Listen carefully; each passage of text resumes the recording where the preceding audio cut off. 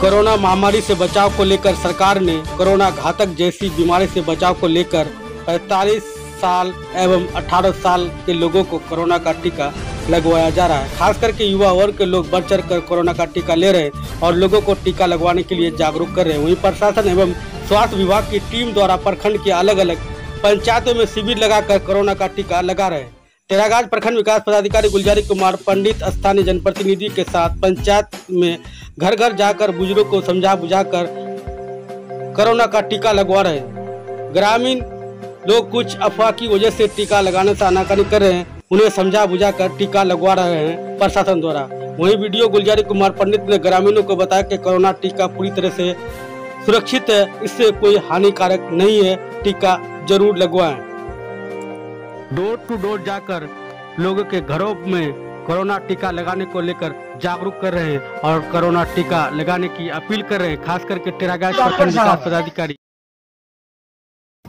वहीं प्रखंड विकास पदाधिकारी गुलजारी कुमार पंडित ने बताया कि टेरागाज प्रखंड क्षेत्र के सभी पंचायत के उप स्वास्थ्य केंद्र आंगनबाड़ी केंद्र एवं विद्यालय में शिविर लगाकर 45 साल से अधिक के उम्र के लोगों एवं 18 साल के उम्र के लोगों को कोरोना का टीका लगाया जा रहा है और ग्रामीण क्षेत्र में जीविका एवं टीचरों द्वारा लोगों को टीका लगाने के लिए जागरूक किया जा रहा है। प्रखंड के अलग अलग जगह में कुमार पंडित ने ग्रामीणों को बताया कि कोरोना का टीका पूरी तरह से सुरक्षित है इससे कोई हानि नहीं होता है। खास करके हम लोगों को कोरोना घातक जैसी बीमारी से रोकथाम के लिए काफ़ी लाभदायक है।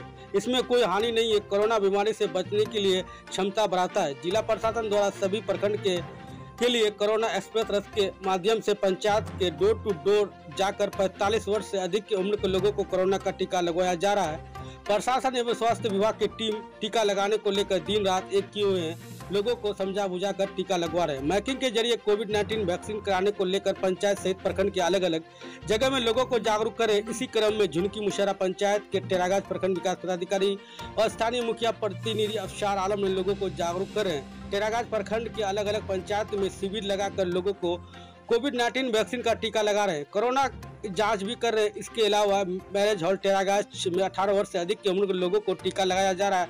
वहीं प्राथमिक स्वास्थ्य केंद्र में भी कोविड 19 वैक्सीन का टीका लगाया जा रहा है। इच्छुक लोग आधार कार्ड के साथ इन जगहों पर जाकर टीका लगा सकते हैं। टीका लगाना अनिवार्य है। कोरोना महामारी से बचने के लिए वैक्सीन जीवन दाता है। टीका पर भरपूर भरोसा करें। टेरागाज प्रखंड विकास पदाधिकारी गुलजारी कुमार पंडित।